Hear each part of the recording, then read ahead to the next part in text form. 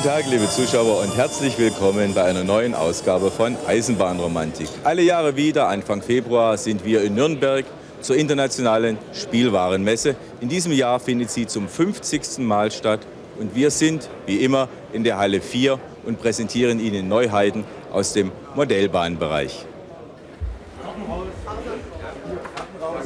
Hilfe! Ein Ausbrecher.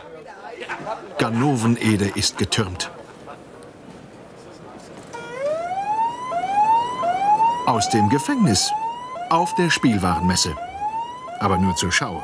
Denn Gauner, Gangster und Ganoven können in Zukunft nicht mehr die heile Welt der Modelleisenbahn bedrohen. Es gibt jetzt ein Gefängnis. Von Faller. Im Maßstab 1 zu 87. Der Knast zum Langfinger für 249 Mark. Eine imposante Neuheit. Da ist er ja, Ganoven-Ede. Wir wissen übrigens, warum er abgehauen ist. Um mit der wilden Maus zu fahren. Ein Vergnügen, auf das er schon eine Ewigkeit gewartet hat, wie verschiedene Modellbahnsammler auch, die sich freilich noch bis November gedulden müssen, denn erst dann ist die wilde Maus lieferbar. Für 199 Marker. Auch Fastfood-Freunde im Maßstab 1 zu 87 brauchen in Zukunft nicht mehr hungrig nach Hause zu gehen. Kurvenreiche Strecken aber bitte meiden. Wir haben eine kleine Anlage erstellt, hier die einmal diese Neuheit K-System, dass man auch in ganz engen Radien fahren kann. Und gleichzeitig haben wir aber da mal unsere heile Schwarzwaldwelt demonstriert. Wir haben ausgesuchte Stücke darauf, den Schwarzwaldhof, die Wassermühle. Und wir haben auch noch mal gezeigt, dass man auf kleinstem Raum eigentlich Schiene und Straße unterbringen kann. Dieses Schaustück wird vom Fachhandel sehr gelobt. Und ich denke mal, wir werden Mühe haben, alle Wünsche zu befriedigen. Denn immerhin arbeitet man an so einem Schaustück etwa 200 Stunden. Ein Dorfbrunnen mit echtem Wasser. Auch für die Freunde der großen Spurweiten werden jede Menge Wünsche erfüllt. Vom Roh bis zum Fertigbau. Viele Kleinigkeiten im Verborgenen. Man wird ihrer erst beim zweiten Hinschauen gewahr.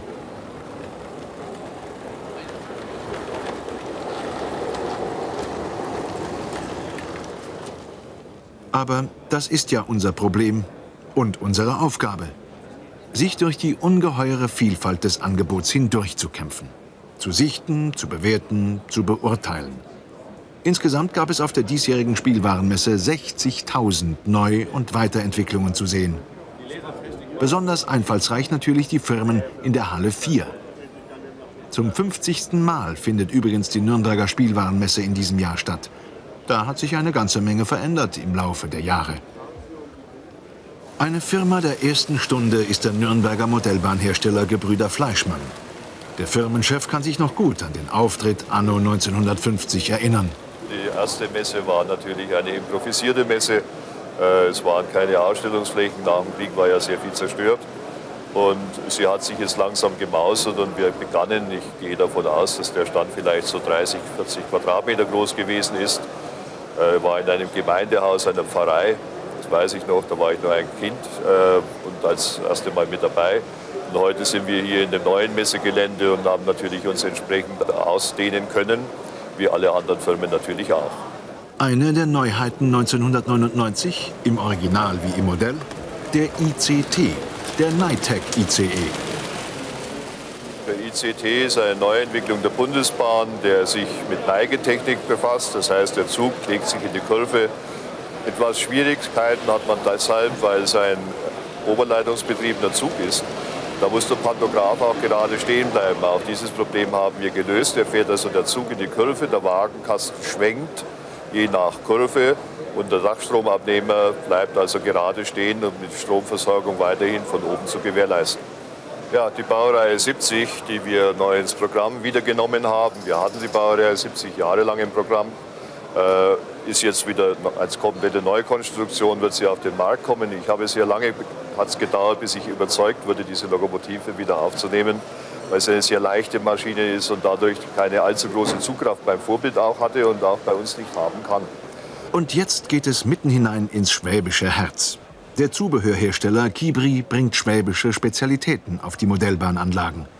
Der Stadtturm Oberes Tor, das Eiscafé Venezia, das Heimatmuseum und die Wirtschaft zur Schäferlies.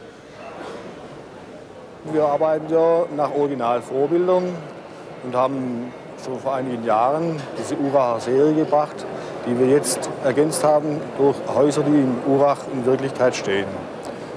Urach deshalb als Vorbildsituation, weil die Größe der Häuser einfach in diesem Maßstab realistisch umzusetzen ist.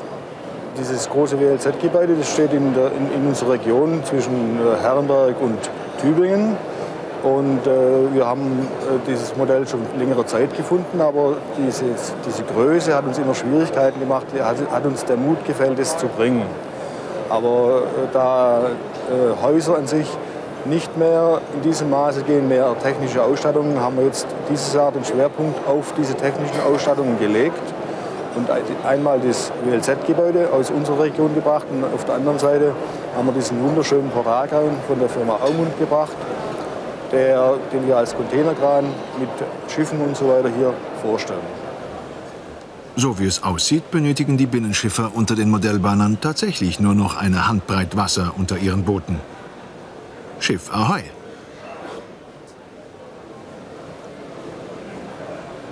Gleich geht's weiter mit Dampf. Das ist jetzt eine Echtdampf H0-Lokomotive im Maßstab 1 zu 87. So wie Sie sie hier sehen, Dampffreunde werden Sie sicher kennen. Sie ist von der Firma Regner. Ich habe sie einfach miniaturisiert. Ich erkläre Ihnen jetzt die Details. Hier vorne sieht man die Rauchkammertüre. Die lässt sich öffnen. Kann man hineinsehen, da sind die Anschlüsse drinnen zu den Zylindern. Dann sieht man weiter den Kessel, den Kamin, den Dampfdom, das Sicherheitsventil. Dann hier sieht man sehr schön, die Seite hier ist geöffnet. Das Absperrventil, den Gastank mit dem Einfüllventil, das kleine Manometer, den Haupthahn zum Öffnen Gas, des Gases. Hier ist die Reguliereinheit für die Flammenhöhe, die kann man hier verstellen.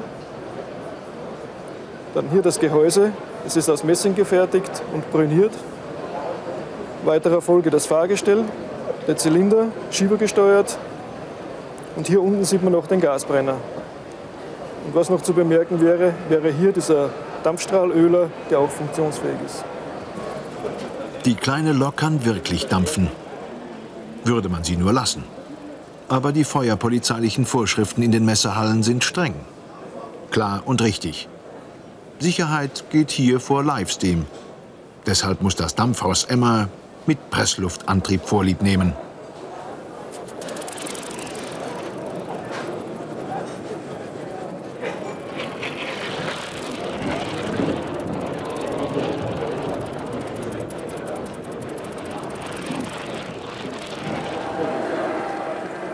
Die Spurweite 2M. Maßstab 1 zu 22,5. Vertreten durch die Nürnberger Firma LGB. Lehmanns Großbahn. Drei Schwerpunkte sind auszumachen. USA, Schweiz und die neuen Länder. Der große Schmalspurmaßstab hat sein Publikum und das ist treu, erwartungsvoll und kauffreudig, wenn das Angebot stimmt. Wir sind bemüht, natürlich allen LGB-Freaks weltweit etwas Neues zu bieten. Dass das Hobby nicht langweilig wird, aktuell bleibt und uns für Jahre hinaus Arbeitsplätze und das Modell und das System sichert. In diesem Jahr sind wir mal äh, die neuen Bundesländer etwas äh, angegangen und haben hier eine sächsische 4K gebracht. Auch dort gibt es noch sehr schöne Schmalspurbahnen, die sehr lebendig sind und auch beim Publikum einen sehr guten Anklang finden. Die sächsische 4K.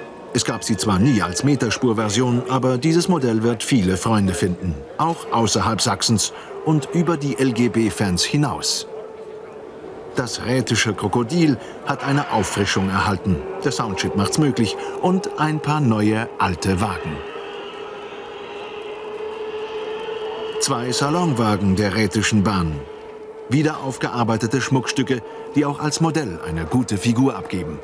Innen komplett eingerichtet, natürlich mit Beleuchtung. Aber wie bei vielen Neuheiten so mancher Hersteller nur als einmalige Serie aufgelegt.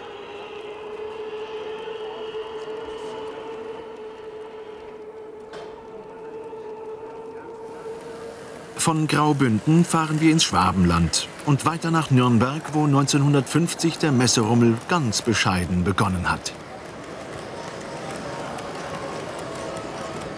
Firma Vollmer ist 52 Jahre alt. Wir waren also im zweiten Existenzjahr hier auf der Messe bereits.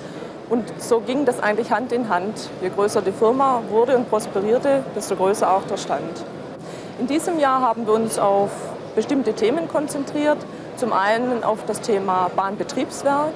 Hier haben wir mehrere Dinge um Kohle, Kohleproduktion, Kohleförderung.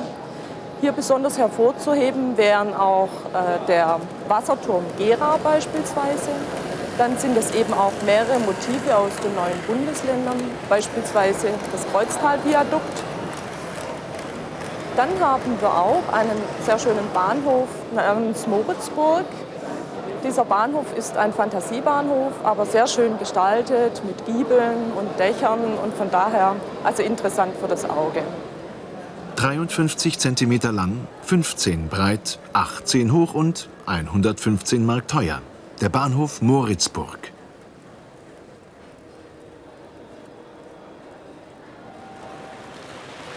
Verweilen und zuschauen, wie die Modellbahnen durch die Modelllandschaften flitzen, wie die Kinderträume im Maßstab 1 zu 220, 1 zu 160 oder 120 oder in der gängigsten aller Größen 1 zu 87 leise surrend unterwegs sind. Vermehrt unterstützt durch die Segnungen der Elektronik. Für ein paar Augenblicke vergisst der Betrachter, dass er eigentlich unterwegs ist, um neue Ware zu ordern, zu begutachten, zu bestellen. Oder wie in unserem Fall, um über Neues zu berichten. Zeit zum Spielen hat hier keiner, leider. Zum Feiern auch nicht.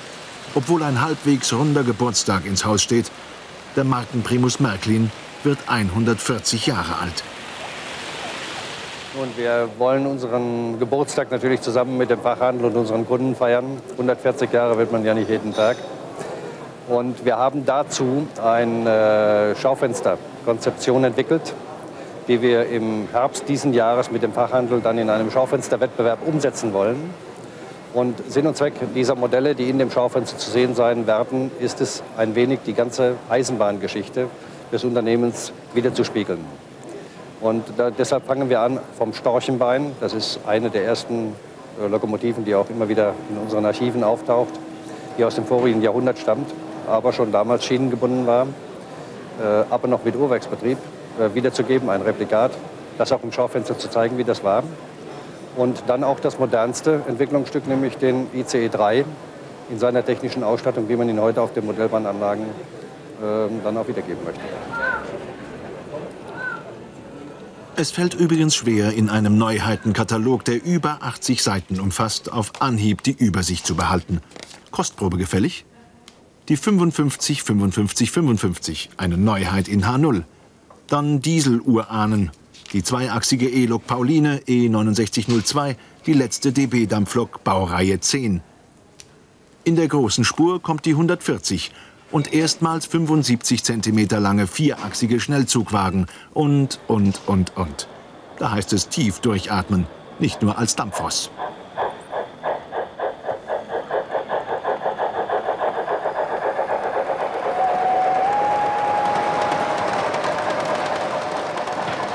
In der Spur H0 und in der Spur 1 kann man mit der Videokamera durch die Modellbahnwelt brausen.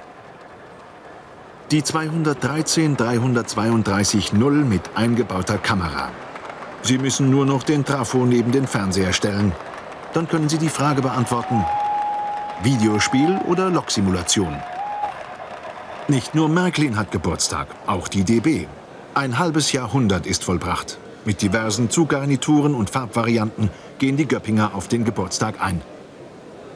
Hier der Geburtstagsgruß in der Spur Z, 6,5 mm. Das Motto Freie Fahrt seit 140 Jahren. Aber da hat sich etwas Sand in das Erfolgsgetriebe gesetzt. Schuld daran ist Wagon Lee, die Gesellschaft, die vor 100 Jahren den Orient Express mit luxuriösen Wagen ausgestattet hat. Wagon Lee baut längst keine Wagen mehr, existiert eigentlich nur noch auf dem Papier, hat sich aber vor drei Jahren ihrer Marke erinnert. Es geht letztlich um Lizenzforderungen, die man auf diese Weise durchsetzen will. Äh, Lizenzforderungen für Markenzeichen, die man 1996 angemeldet hat im Spielwarenbereich. Und das sind Markenzeichen, die 1915 schon auf den Modellen stilisiert wiedergegeben worden. Damit keine Kostenlawine entsteht, hat sich der Deutsche Verband der Spielwarenindustrie hinter die Modellbahnhersteller gestellt. Es sind mehrere äh, deutlich kleinere Hersteller, die betroffen sind und die brauchen natürlich die Unterstützung des Verbandes deutlich mehr als Märklin. Und Sie geben aber allen im Prinzip Ihre Hilfe?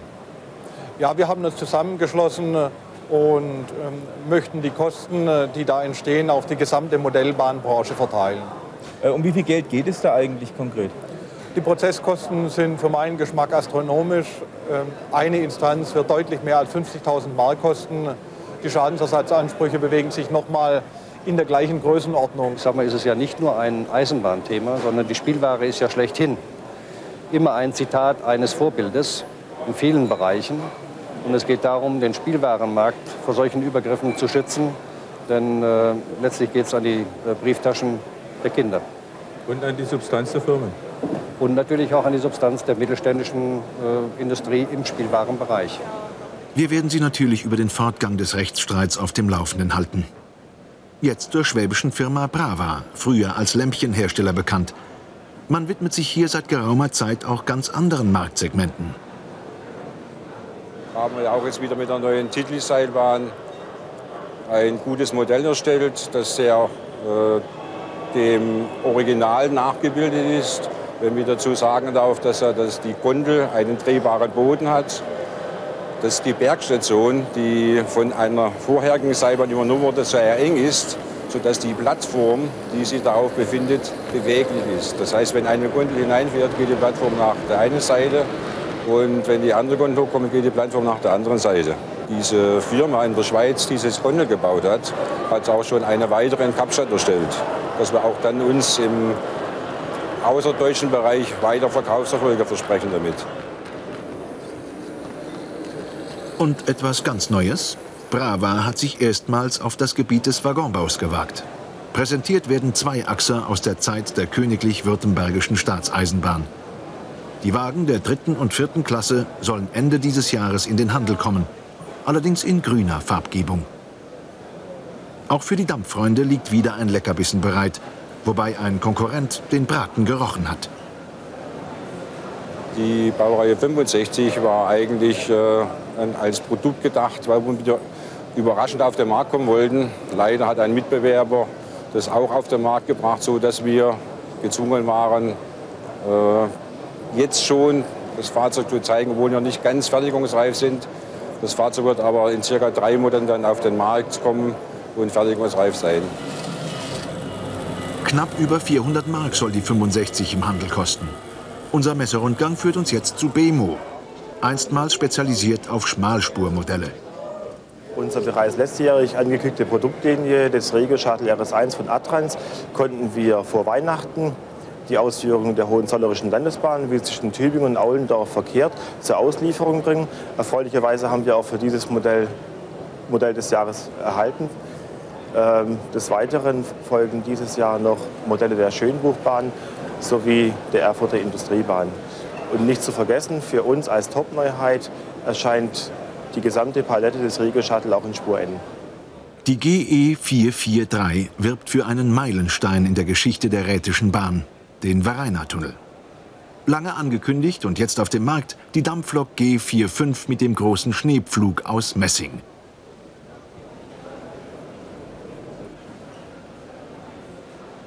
Das Vorbild dieses Modells war der einst ebenfalls in der Schweiz im Einsatz. Es handelt sich um einen Dampftriebwagen der schweizerischen Sursee-Drängenbahn. Ein Unikum, was es leider nicht mehr gibt. Es wurde verschrottet. Äh, das Fahrzeug besitzt einen merkwürdigen quer zur Fahrtrichtung eingebauten Dampfkessel. Das Ende ist hier zu sehen. Äh, eine weitere Merkwürdigkeit war, dass der Wasserkessel unter dem Fahrzeug war auch die andere Seite sieht vollkommen anders aus. Äh, es war ein Packabteil für das Gepäck und auch ein Postabteil eingerichtet. Der Lokführer, der nun hier zwischen seinem Kessel und dem Steuerabteil hin und her laufen musste, durfte das Postabteil nicht betreten. Das hatte die Schweizer Post untersagt. Die Wasservorräte reichten aus, um die kurze Strecke einmal zu befahren. Ebenso die Kohlevorräte während der Fahrt konnte nicht nachgeheizt werden. Es äh, gab nur dieses eine Stück von der Schweizerischen Lokomotivfabrik Winterthur. 1420 Mark soll der Dampftriebwagen aus Messing kosten. Jetzt machen wir einen Besuch bei der Firma Busch, Modellbahnzubehör, mit einem Winzling als Neuheit. Ja, das Fahrrad ist wohl die, fast die kleinste Neuheit. Das Besondere daran ist eigentlich, dass es das erste H0-Fahrrad ist, also im Maßstab 1 zu 87, was echte Speichen hat. Jeder einzelne Speicher hat einen Durchmesser von nur 0,1 mm und ist damit eigentlich kaum stärker als ein menschliches Haar. Gefertigt wird dieses Fahrrad in Kunststoff-Spritzgusstechnik und ist natürlich für unsere ähm, Entwickler dort eigentlich schon eine Meisterleistung, dass man so dünne Speichen überhaupt noch aus Kunststoff machen kann, dass man die voll bekommt. Äh, wie wird das hergestellt und wo wird es hergestellt? Hergestellt wird es in Kunststoff-Spritzgussverfahren, so wie äh, sagen wir, sehr, sehr viele Modellbahnzubehörbereich, wie Autos, Häuser und so weiter hergestellt werden. Hergestellt wird es hier in Deutschland, in unserem Betrieb in Schönheide, der liegt im Erzgebirge in Ostdeutschland. Äh, haben Sie mal mit dem Fachhändler darüber gesprochen? Wartet der Kunde da drauf? Das weiß ich nicht, aber uns gefällt die Idee eigentlich so gut und wir finden es so süß, dass wir eigentlich überzeugt sind, dass man davon bestimmt etwas verkaufen kann. Sechs Fahrräder, Dachgepäckträger und zwei Motorroller kosten 9,95 Mark im Set. Immer kleiner werden auch die Minilämpchen. Selbst für die Baugröße N, Maßstab 1 zu 160, gibt es Autos mit eingebauten Scheinwerfern und Rückleuchten. Wir bleiben bei kleinen Modellen, kleinen Auflagen und einem Hersteller, der seine Neuheiten nicht auf einem Stand präsentiert, sondern aus der Handtasche zaubert. Nöte eines Kleinserienherstellers. Der Fachhandel führt unsere Maschinen leider nicht, weil die Nachfrage ist sehr gering. Wir Kleinserienhersteller sind eben darauf angewiesen, auf direkten Kundenkontakt. Und der Kunde muss eben über uns oder über die Fachzeitschrift Kontakt aufnehmen. Die Maschinen werden als Bausatz oder als Fertigmodell geliefert. Die Bausätze liegen ca. bei 290 Mark und die Fertigmodelle je nach Ausstattung bei 600 bis 700 Mark. Bei Modellbau Meyerhofer blinken Tausende von Leuchtdioden den Kunden entgegen. Allein beim Flipper kann man 1835 Lichtlein zählen, wenn man will. Es gibt eigentlich kein Kirmesfahrzeug, das man nicht mit einem Beleuchtungssatz nachrüsten könnte. Neu 1999 der Autoscooter. Natürlich mit Stroboskopeffekt. Ab Herbst wird er zu haben sein.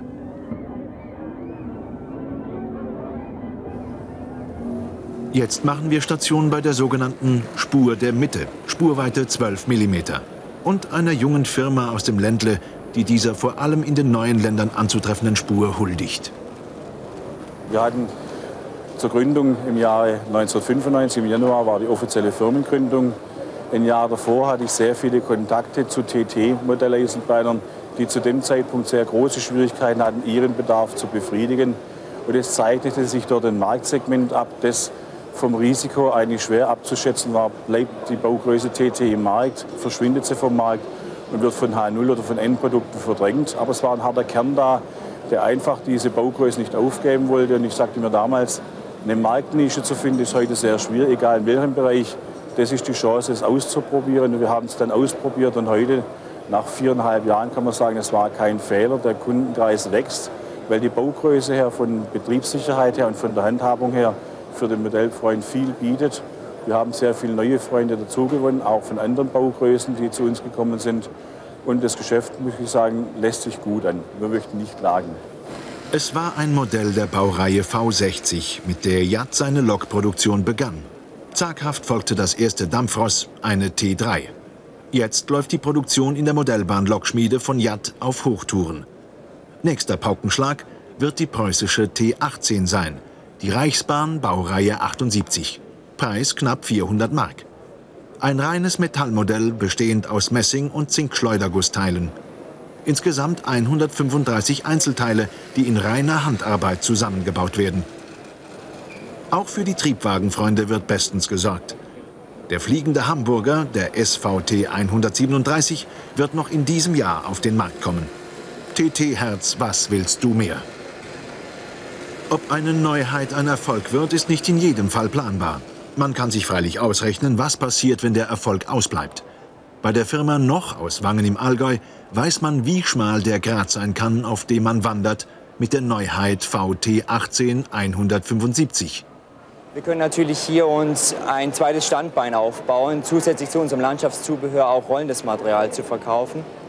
Auf der anderen Seite bringt natürlich so ein Modell Risiken mit sich, vor allem finanzielle Risiken. Das bedeutet, wir haben also hier zu investieren in diese Werkzeuge, die hergestellt werden. Kato produziert für uns komplett und wir nehmen dann diese Modelle komplett zu uns und haben dann das komplette Risiko des Vertriebs auf unserer Seite. Auf der Anlage von Rocco aus Salzburg sind viele Neuheiten der vergangenen Jahre unterwegs. Und auch 99 hat man wieder in die Vollen gegriffen. Zitat: Wir haben uns wieder sehr bemüht, die Bandbreite der Neuheiten weit zu streuen und erreichen damit fast wieder die Rekordmarke vom letzten Jahr. Der Neuheitenprospekt umfasst 64 Seiten. Wir möchten unsere Betrachtung auf das Wesentliche reduzieren und das heißt 310-23. Letztes Exemplar der legendären österreichischen Schnellzuglokomotive. Das Modell ist zur Spielwarenmesse nicht ganz fertig geworden, aber man sieht schon, dass da eine Augenweide heranreift. Details. Rauchkammertür zum Öffnen, Metallgussräder mit filigranen Speichen, Lokgehäuse aus Kunststoffspritzguss. Auslieferung im Herbst 1999. Bei der 310er haben wir darüber hinaus erstmals eine ganz besondere Aktion mit verbunden. Wir sponsern mit Hilfe unserer Kunden das Vorbild. Das Vorbild ist derzeit vor einer Hauptuntersuchung und äh, man hat Geld gesucht, da der Staat selbst das nicht finanzieren wollte. Und hier haben alle Modellbahner in großartiger Weise mitgeholfen. Und so ist es heute möglich, dass diese Maschine zeitgleich mit unserem Modell, voraussichtlich jetzt im September 99, wieder betriebsfähig sein wird. Roccos Reco 50. Mit ihr lassen wir für heute die letzte Neuheit entschwinden.